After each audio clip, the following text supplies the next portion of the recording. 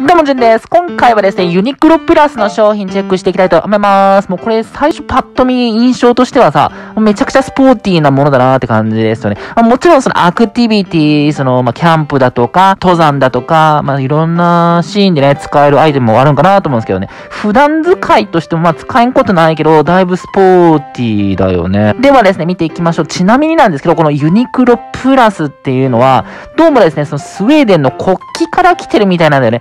スウェーデンの国といえば、まあ、青色ベースで、黄色のこのプラス、十字がね、国旗にあるわけですよね。こちらなんですけども、まあ、これがベースとなってるわけなんでね。なんかさ、開発もどうも、そのスウェーデンのトップ選手たちと一緒に、まあ、協力して作ってるということで、まあ、そういうスポーティーな服に仕上がってんのかな。なんか、いろいろとこだわりあるみたいでさ、サステナビリティとか、あの、ユニクロが最近押し出してるサステナビリティとか、あと、イノベーションとかね、いろいろこだわりはあるみたいです。メンズレディースと展開なんですけど、まず、ウィメンチェックしていきましょう。アウターに、あとこちら、ジャケット、トに、ニットジャケットに、T シャツ、そしてこちらポロシャツ、そしてショートパンツにロングのストレッチアクティブパンという展開ですね。メンズも同様の展開なんですよね。ちょっと詳しくはメンズの方をチェックしていきましょうか。こちらですね。ボボン。こちらのですね、ユニクロプラスライトポケッタブルパーカー4990円が、ユニクロ史上最軽量みたいなんだよね。まあ、ポケッタブルということなんでさ、この間ユニクロセオリーのさ、こういうやつ発売されてたけど、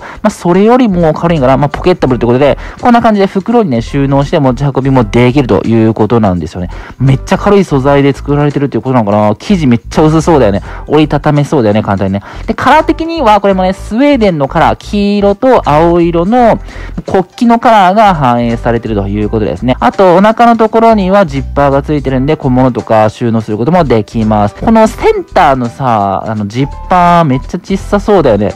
これ、注意せんと壊れやすいかもしれないね、ほんとね。で、あと袖のところも黄色かったりと、結構こうカラフルな感じで、水色と黄色カラフルな感じに仕上がっておりますと。で、これ結構こだわりがあるみたいで、環境に配慮したフッ素を使わない撥水加工。あ、のー、こういうシャカシャカ系のアウターなんで、小雨とかも防いでくれるんだけど、フッ素使ってない素材なんだって。ね、ポケッタブルいうことなんだけど、内ポケットに収納できる。だからこの、アウターのところ、内ポケットトに、これをすべて収めるという仕様ね。なるほど。で、肌寒い時、いつでも羽織ることができますよ、みたいな。あの、ちょっとこう、歩いてる時とか、ちょっと、夜肌寒いな、なったらこういうのね、羽織ったらええんちゃいますかと。で、続いてこちら、ウルトラストレッチアクティブジャケット。ウルトラストレッチ素材なんで、めちゃくちゃ伸びやすいということでね。で、さらに通気性とかドライ機能も兼ね備えておるということでね。一見これもなんかシャカシャカ系なんかなーっていう感じはしているんですけども、商品詳細見てみると、本体はポリエステル100%。まあ、あの、シャカシャカに近い感じなんだな。で、さらにこう、めちゃくちゃ伸びる人。で、袖のところとか黄色いライン入ってたり、ということですね。なんかね、ほんとめちゃくちゃこう、こだわっててさ、汗をかきやすいこの脇部分は、ポケット内側に通気性優れたエアドッツ素材っていうのを使ってるみたい。結構こう見た感じピチッとしてそうだよね。で、さらにこちらですよね。サステナブルということで、リサイクルポリエステルが14%使用されております。こちらですね、回収したペットボトルをリサイクルして使っているんだって、地球に優しい。そして商品3つ目、こちらは価格ちょっと高めで6990円。ニットジャケット、ニットのジャケット。ただですね、この背中の部分とか結構こだわってるみたいで通気性抜群になってるわけね。生地がなんかこう微妙にこう切り替わってる感じ。穴が開いてるようなそういう素材ですよね。もちろんこれスポーツ用に使えるってことだから、その暑苦しいニットとかではないんだろうね。軽くて動きやすい通気性に優れている。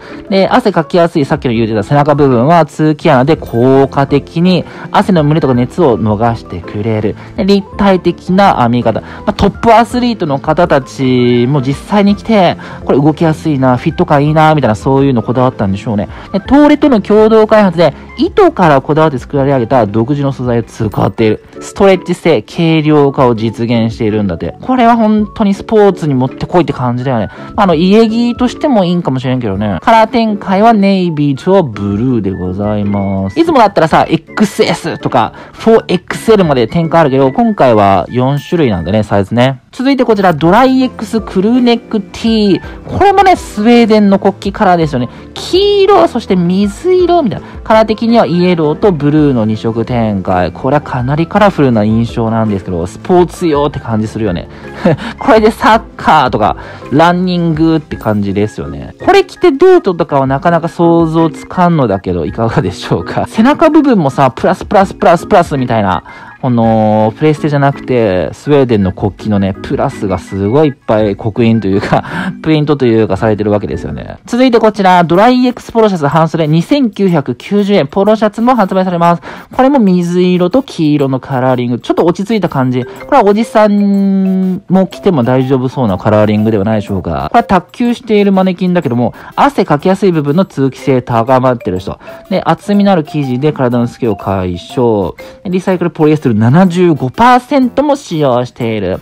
で、吸水速乾すぐ乾くよと、抗菌防臭機能もあり、このプロシャツはさ、普段着としても使えそうだよね。もちろんそのランニング用とかもありだけど、結構シュッとしたシルエットだよね。オーバーサイズとかではないよね、全然ね。続いてこちら、ウルトラストレッチのアクティブパンツ。これね、結構いいんじゃね？えと思ってんだけど、股上結構浅めですけども、ドライ素材を使うとさらっと快適に履ける1枚。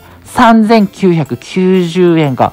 で、これまたのところがあったから写真。なんかね、すごい変わった形になってて、めっちゃ動きやすそうなんだよね。これこれこれこれ、股のところがこういうひし形みたいな形になってるから、めちゃくちゃね、動きやすいの。こう、足を、ももを上げやすい。アスリート仕様の軽快ロングパンツ。まあ、アスリートにはもってこいということでね。さらに、ジップ付きポケットも付いてるんで、あのー、車の鍵とか入れても大丈夫だよね。リサイクルポリエステル14%使用。で、裾についたジッパーで着脱しやすい。ここに実はどうもジッパーがついてると。で、こんな感じでジッパーがついてるんで、着脱もしやすいですよ。と、通気性もいいところかな。ラストこちら、ウルトラステッチアクティブショートパンツ。さっきの、まあ、ショートパンツ版ということだけど、これは2990円。ちょい高い印象ありますけども。カラーはネイビーとなっております。ところどころにこういうね、蛍光色ついてるからいいよね。かわいいね。これも腰部分、ポケット部分、内側とかに通気性のいいエアードット素材っていうのを使ってるみたい。これなんか初めて聞いたのはエアードッツ。で、リサイクルポリエステル14%使用ということで、あのー、ペットボトルとかそういうのをリサイクルして使ってるということですね。マストバイ的には3つ挙げるとしたら、このポケットブルパーカーと、で、このポロシャツと、こちらのアクティブパンツの3つじゃないですかね。この辺が一番人気ですぐ売れるんちゃうかなと思ってるんですけど、ニットジャケットは実際に着てみんとどうかわからないね。暑苦しくなるのかもようわからんしね。クオリティもイノベーションもサステナビリティもいろいろこだわったこちらの商品ですね。6月の、えー、7日から順次発売ということですので、気になった方ぜひチェックしてみてください。ということで今回はここまでです。最後までご視聴ありがとうございました。バイバーイ。